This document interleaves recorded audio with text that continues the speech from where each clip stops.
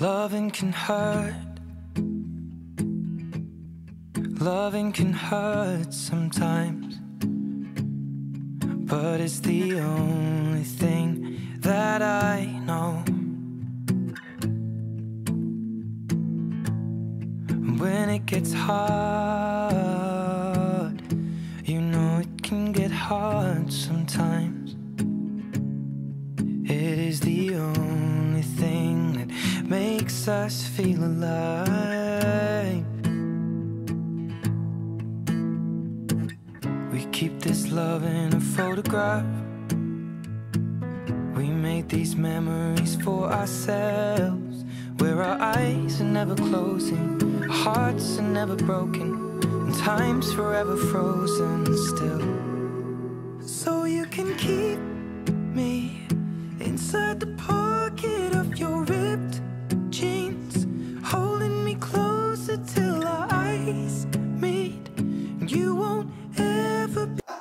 haven't actually watched it. Yes! Hello everyone! I'm back in my original studio, which is very exciting, but only for once because this is the last evolutionary video I'm going to do for you guys. Oh, how depressing. You'll get over it, but we're going to have loads of fun today. We're going to go over the last two topics of human evolution, and we're going to be applying some evolutionary theory to see why they exist. So, the first topic we're going to be talking about today is homosexuality. Right, so, broad question for you. Why does homosexuality exist? What's the point? Because if we think back to our first video, we talked about um, what fitness meant from an evolutionary biologist perspective, and we learnt that it was the ability to um, reproduce and produce viable offspring. Well, homosexuals tend to not reproduce, so therefore they have low evolutionary fitness, we can say. So what's the point? Now, we're going to be talking about that later in the video, but first we're going to be talking about how, um, what causes homosexuality. Now, the general consensus nowadays is that it has a genetic basis, um, but also the environment does play a part as well, such as um, development in the uterus has been shown to have an effect on sexual orientation. Um, but a good example of why it has a genetic basis is when you look at dizygotic twins, identical twins. Um, it's been shown that you're more likely to be gay if your identical twin is gay. So basically, the more closely related you are to your siblings, the more likely you are to have the same sexual orientation. But as we're going to see, it's very complex. The genetic basis and the environment interact with each other in quite a complex way. So to the point that we're still not really sure what causes homosexuality. Now you can really see how much we've advanced as a society in recent years when you think that being gay only became legal in 1967 and it was only removed from a list of mental disorders in 1973. Nowadays, well hopefully, you can look at that and think, how ridiculous, because this is such a natural process that it is absolutely ridiculous to think that this was classed as a mental disorder. But anyway, that was the past. Let's stick in the present, shall we? Everything's happy now. Way! But talking about the brain, there have actually been studies comparing um, the sizes of different parts of the brain in homosexuals and heterosexuals, and they found um, some drastic differences. When looking at a specific region of the hypothalamus, which controls sexual drive and function, it was shown to be larger in homosexuals than in heterosexuals. And also when you look at the symmetry of the amygdala, which is thought to control and play a part in emotions, etc., um, you see the same kind of symmetry in homosexual men and heterosexual women, and vice versa, so heterosexual men and homosexual women. So, depending who you're attracted to depends on the shape of this amygdala. But obviously, at the end of the day, the things that cause these changes in shapes of the brain, it all narrows down to genetics. And one of the most famous scientists um, involved in um, looking at the genetic basis of homosexuality was Hamer and his colleagues. And they suggested that um, homosexuality was um, related, was sex linked So it was on the X chromosome, the genes that um, relate to homosexuality. Now his main focus was male homosexuality, and what he did, he looked at family trees and he noticed that there was a correlation of homosexuality, male homosexuality, of families on the maternal side of the family history. Now, obviously, if you're a male, you get your X chromosome from your mother. So therefore, male homosexuality is likely to be determined on that X chromosome. So on the from from the chromosome that was given to you from your maternal side. And after loads and loads of analysis, they narrowed it down to this Xq28 region. This is a selection of genetic markers which are found to be related in homosexual men. Now, these regions are more likely, it was shown, these regions are more likely to be conserved within homosexual brothers, so where both brothers are homosexual, than what could be achieved by chance. And the opposite is true. If one brother is homosexual but the other is heterosexual, then not many of these Xq28 um, genes are conserved in both offspring than what could be achieved by chance. Because this isn't just one gene, this is a selection of different genes, all on the X chromosome. Yeah, did I explain that right? So if you have two homosexual brothers, those two homosexual brothers share more of the alleles on these X, on this Xq28 region than what could just happen by chance. So that's a good indicator that these genes do have an effect on your sexual orientation. However, this study wasn't actually replicated in Canada, which worked on a larger sample size. However, the study did agree that homosexuality did have a genetic basis, and in the 2005 genome-wide study, it was found they, they found genes not on the sex chromosomes, but on chromosomes 7, 8 and 10. These genes were highly conserved between gay brothers. Now, in the recent 2015 genome-wide study, they found that, yes, chromosome 8 came up again, but also the Xq28 region. So basically, the overall conclusion is that there isn't one single gay gene, which is pretty obvious, I think. Otherwise, I mean, your sexual orientation is quite a big, you know, complex thing. So it being controlled by one gene would be quite surprising, don't you think? So it's likely to be a mix of different things, X-linked genes and autosomal genes. Um, and it's quite a good thing that there isn't just one gay gene because if you, um, well, in my course in the molecular, I didn't actually do a video on this, but we looked at CRISPR-Cas9 technology where you can mutate genes and produce like designer babies and all kind of weird stuff, then if it, homosexuality was only controlled by one gene, then you could make your baby gay or not gay, which is bloody ridiculous. So uh, no, it's not controlled by one gene. We're now moving on to why homosexuality exists. And there are three main theories really. The first one is kin selection. Now, you've probably heard of kin selection before, and it basically speaks for itself. So the theory is that homosexual men, most of the studies by the way have been done on homosexual men. It's thought that um, homosexual men may help the family, the rest of the family, raise other kin other than instead of reproducing themselves. Because by improving the fitness of your relatives, then you're indirectly increasing the chances of your genes, because you're related, so you've got similar genes, being passed on to future generations. So basically acting like kind of a nanny. Now, that may not be as useful nowadays, but you've got to put your evolutionary biology hats on and think back to a hunter-gatherer society. That may have been quite useful. Now, our second theory is over-dominance, and is all based on a heterozygote advantage.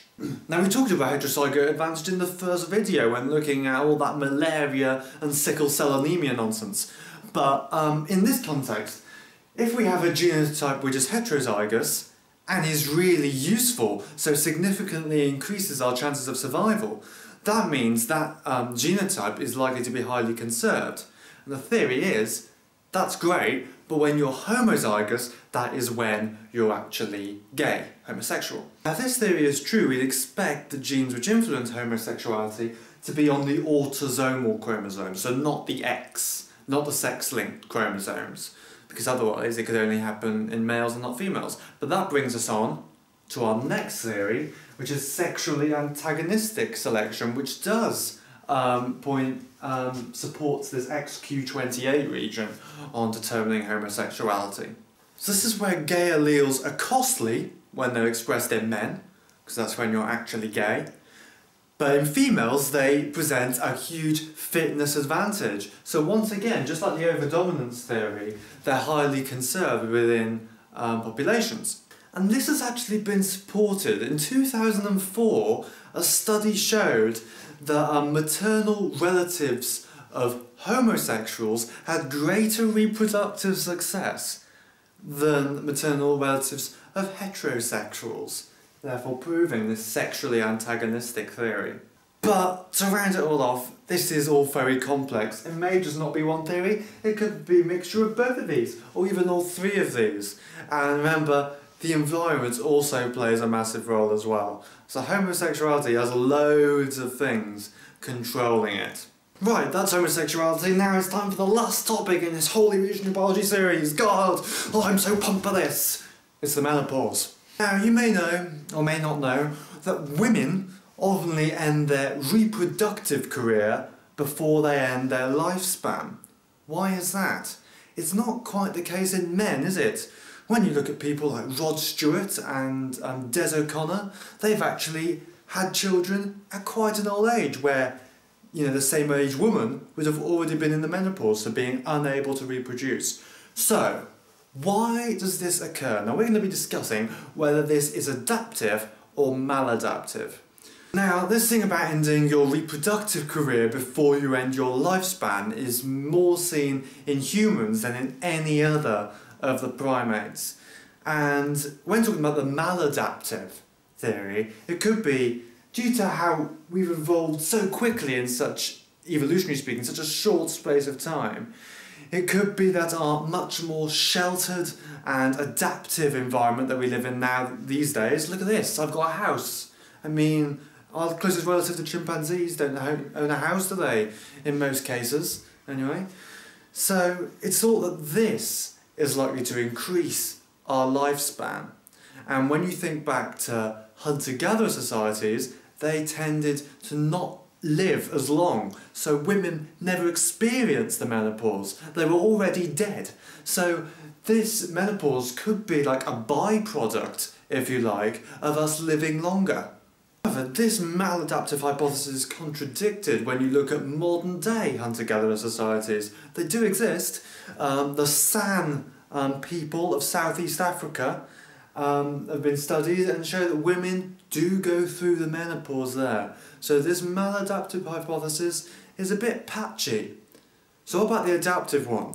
Now this is all to do with something called the grandmother hypothesis.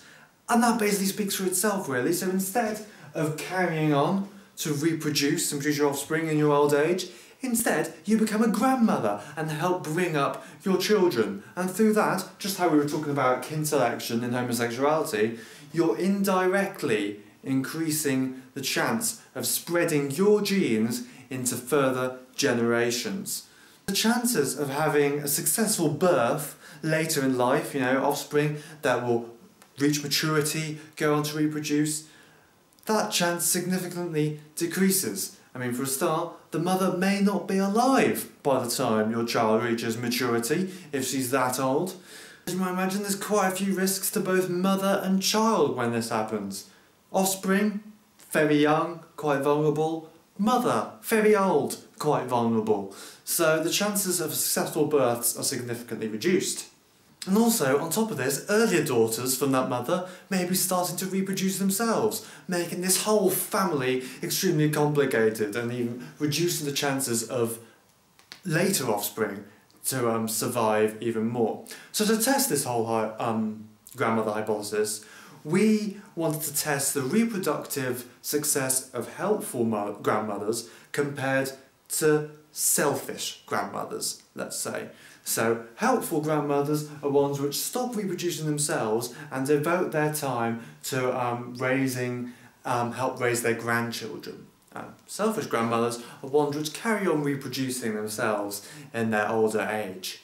And this was done in a study in Gambia and it was quite successful. They concluded that non reproductively active grandmothers, so the helpful grandmothers, significantly increased the nutritional status and the survival of the offspring quite significantly. And the result of this study also suggests that the bodies of women are adapted to um, cope with low estrogen levels later in life. So estrogen, of course, is a hormone involved in the menstrual cycle. I did a revision video actually on it way back in A level. How interesting. Um, so that means this could suggest that all these hormone replacement therapy things that are out there may actually um, create conditions in the body which women are not designed to cope with. In fact, there's even been studies that these hormone replacement therapies can increase the risk of breast cancer. Well, I'm afraid, I mean, the time had to come eventually, didn't it? That's all I've got for you today, guys, and I've got to say, thank you to everyone who's um, watched these videos, given me fantastic feedback. Obviously, they've really helped me in my revision loads as well. In fact, yeah, I don't think I'd be, feel as confident with my exams as I am now than if I didn't do these videos. So thank you very much, but also thank you very much for your comments. It's given me a lot of motivation to do them as well. But once again, if I'm wrong, feel free to correct me because I probably am somewhere. So thank you much for all your time. I'll be back soon. Just a little bit, folks. Oh, but before I go, um, I'm going to leave you with a great highlight of the series. Well, it's quite high when you're laying on the floor, isn't it?